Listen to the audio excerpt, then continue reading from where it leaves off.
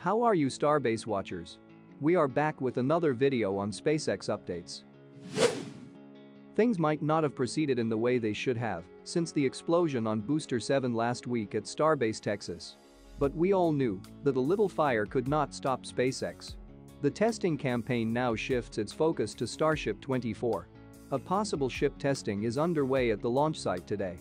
Either an engine spin-up test or a cryogenic test is expected.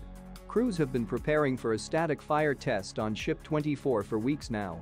I think we are closer to seeing some engine fires sooner than later. Back in the production site, Booster 7 is still in the surgery room. Up until the time of making this video, at least 10 Raptors have been removed from Booster 7.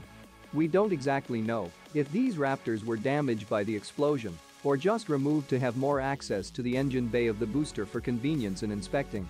I would say the fate of Booster 7 is now uncertain given the fact that Elon hasn't said anything about it yet. Or the removal of engines is a sign that SpaceX will move on to Booster 8 for the Starship orbital test flight. We will wait and see.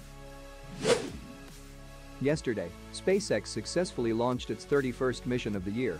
The exact number of launches that they achieved in all of last year. SpaceX will be aiming to launch nearly 60 launches this year. This will break all records in the history of launching rockets. That is it for now. I will update the latest on Ship 24 testing in the next video. Bye for now. Thank you for watching.